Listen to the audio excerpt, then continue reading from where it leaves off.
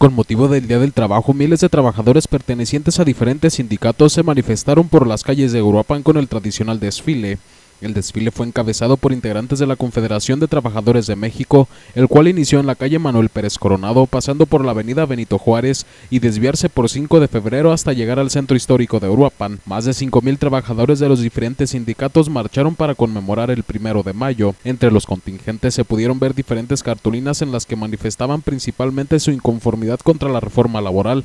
no más abusos a los trabajadores, abastecimiento de medicinas en el ISTE y el Seguro Social, entre otros. Asimismo, lonas en las que pedían al gobierno del Estado paz y tranquilidad, al presidente municipal de Uruapan una buena administración durante su mandato y a los diputados mencionando que basta de robos a causa del reemplacamiento. Los contingentes que se dieron cita fueron la Federación Regional de Obreros y Campesinos, el Sindicato de Meseros, Cantineros y Hoteleros de Uruapan, el Sindicato de los Trabajadores de la Música Viva, el Sindicato de los Telefonistas, el el Sindicato Único de Trabajadores y Empleados del municipio, entre muchos más. Asimismo, se pudo ver un grupo de personas en los lados de las calles, las cuales tenían cartulinas en las que decían que el primero de mayo es la jornada de la lucha por los obreros, pedían salud, empleo y educación para un Uruapan mejor, así como no más a la alza de los precios en los productos de la canasta básica. Para ABC de Michoacán Televisión, Freddy Vázquez Morales.